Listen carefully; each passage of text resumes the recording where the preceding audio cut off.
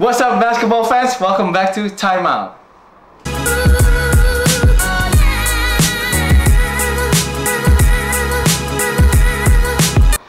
Back again with me Rocky Padilla dan di episode uh, Timeout kali ini gue ingin berdiskusi, berdiskusi dengan semua subscribers gue nih. Jadi gue ingin sekali menyediakan tempat untuk semua subscribers gue uh, sharing pendapat dan juga diskusi, memberikan topik diskusi. Jadi agar ini uh, jadi channelnya itu jadi channel interaktif banget. Itu yang gue harapkan dari uh, channel ini dan juga uh, episode Timeout kali ini. Dan bagi yang belum subscribe, please subscribe channel gue karena nanti pas Uh, 5000 subscribers sekarang banyak banget. Kak, kapan ada giveaway? Nanti kalau ada 5000 subscribers, gue ada giveaway sesuatu ya untuk kalian. Jadi, kasih tahu temen kalian juga untuk subscribe channel basket gue ini. Dan kalau begitu langsung kita ke topik pertama. Ya, topik pertama itu yang gue pengen diskusikan adalah Boston Celtics. Nah, menurut gue dengan cederanya, ya atau seperti kalian semua ketahui kalau Gordon Hayward bintang Boston Celtics cedera di game pertama saat melawan Cleveland Cavaliers. Dan menurut gue ini uh, sangat disayangkan banget karena tadinya sangat menjanjikan kalau Boston Celtics ini bisa bersaing dengan Cleveland Cavaliers untuk masuk ke NBA Finals. Tapi menurut gua karena dengan hilangnya Gordon Hayward uh, ini membuka jalan untuk uh, Washington Wizards dan juga Toronto Raptors. Kalau menurut gua karena Washington Wizards ini adalah favorit gua untuk masuk ke Eastern Conference Finals itu pendapat gua. Jadi ntar kalian bisa share sendiri uh, siapa yang menurut kalian nanti bisa masuk ke Eastern Conference Finals melawan kemungkinan besar adalah Cleveland Cavaliers. Tapi sebenarnya ini tidak semuanya negatif tentang cederanya Gordon Hayward. Menurut gue ini membuka jalan untuk pengembangan permainannya uh, Jalen Brown dan juga Jason Tatum. Kedua pemain ini menurut gue solid banget. Jalen Brown di game pertama 25 poin dan di game kedua 18 poin. Sedangkan Jason Tatum di game pertama sempat double-double.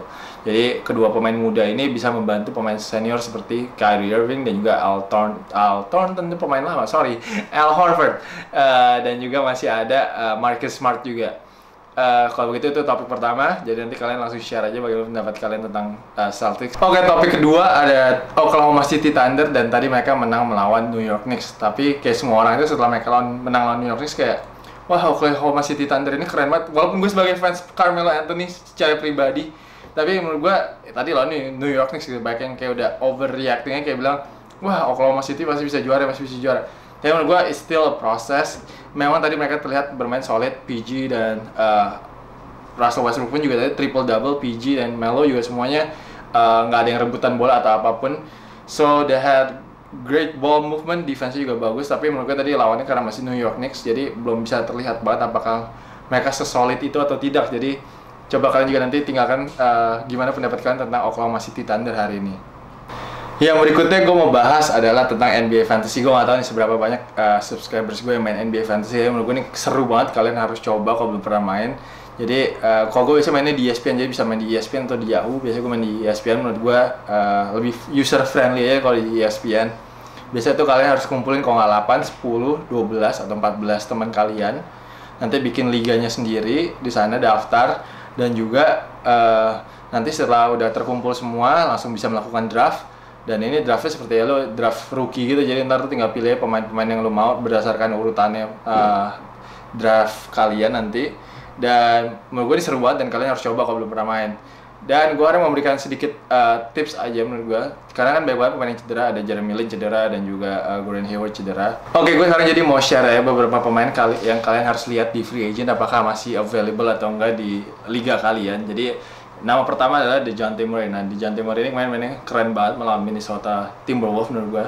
Dan dia akan tetap konsisten. Gue liat dia soal main itu apa ya, hustle banget. Jadi gue mereka dia main nyetak 16 poin dan 7 dari 8 dan kalau hal itu juga 5 assist. Jadi menurut gue all around banget nih Dejounte Murray. Dan yang kedua Marco Bellinelli. Nah Marco Bellinelli ini seperti yang kalian tahu adalah sharpshooter dari Atlanta Hawks. Atlanta Hawks itu pemainnya gak ada siapa-siapa jadi opportunity untuk dia tuh besar banget. Jadi kalau kalian bisa langsung aja uh, pick up dia di free agent dan yang ketiga itu ada Willie Colistein. Nah, Willie Colistein ini gue gak tau nih di liga banyak liga sih masih ada yang free agent. Gue main juga dapet dari free agent. Uh, dia itu main double double kalau nggak 21 poin dan 10 rebounds. Jadi uh, dan satu lagi rookie-nya dia dari Sacramento Kings juga gue suka di Aaron Fox. Uh, lumayan lumayan apa ya dia main lumayan produktif menurut gue dengan 14 poin dan 5 assist juga kalau nggak salah. Dan yang menarik juga adalah uh, Trevor Booker nih. Trevor Booker dari Brooklyn Nets uh, main cederanya Jeremy Lin walaupun beda posisi tapi uh, ini memberikan opportunity untuk uh, Trevor Booker untuk memberikan kontribusi lebih baik lagi. Kemarin kalau hal itu 20 poin dan juga 10 rebound tuh si Trevor Booker itu. Dan ada lagi yang gue pengen share ke kalian adalah pemain dua pemain Celtics yang harus kalian pick up cepetan nih. Tapi gue nggak tahu kalau di liga kalian masih ada atau nggak. Main gue sempat hoki banget masih dapat Jalen Brown. Nah Jalen Brown ini dengan cederanya Gordon Hayward yang jelas kontribusinya pasti gede banget dan kemarin sudah uh, 25 poin dan 18 poin. Jadi is a good pick up. Dan satu lagi yang mungkin menarik untuk di pick up adalah Terry Rozier. Terry Rozier ini uh, point guard yang eksplosif, bisa point dan juga bisa rebound dan assist. Jadi itu all round stats banget untuk tim kalian di fantasy. Dan yang terakhir gue mau share ke kalian juga adalah pemain yang harus kalian pick up kalau masih ada, yaitu Kelly Oubre Jr. dari Washington Wizards. Nah, dia ini menitnya banyak banget, gue juga kaget dia dapat 32 menit. Dia mencetak 14 poin, 8 rebound, 2 steals dan 2 blocks. Jadi uh, ini bagus banget untuk fill up your stat sheets. Jadi kalau gue bilang kalau masih ada Kelly Oubre Jr., you should pick him up uh, from the free agents.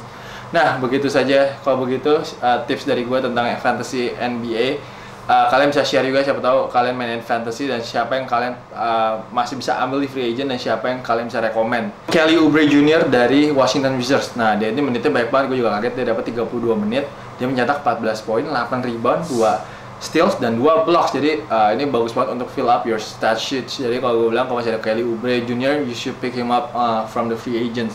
Nah, begitu saja. Kalau begitu uh, tips dari gue tentang fantasy NBA uh, kalian bisa share juga siapa tahu kalian mainin fantasy dan siapa yang kalian uh, masih bisa ambil di free agent dan siapa yang kalian bisa rekomend. Kalau begitu it's a wrap for this episode of Time Out. Dan jangan lupa guys untuk kasih gue thumbs up and jangan lupa ya guys tinggalkan komen kalian diskusi any topics you want about the NBA. And then kalau begitu thank you guys for watching and subscribe please subscribe my channel and I'll see you guys on the next episode.